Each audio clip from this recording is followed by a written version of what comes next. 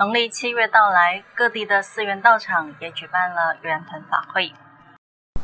在台湾，农历七月是中原普渡的日子，各佛教道场也陆续举办盂兰盆法会，让信众参与。有悠久历史的大冈山朝逢寺，也即将在农历七月份举办盂兰盆法会。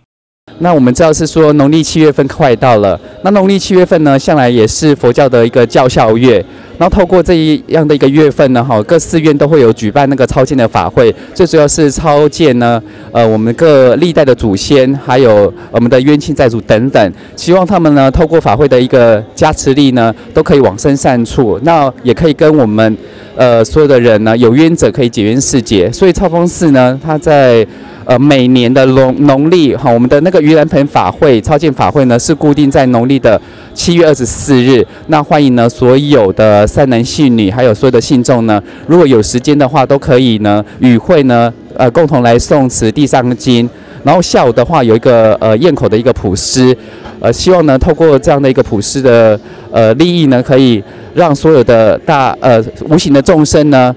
呃不管呃地位高低呢，都可以。呃，得到法喜啊，所以呢，今邀各位呢，可以来超梦寺呢参加法会。好，谢谢大家。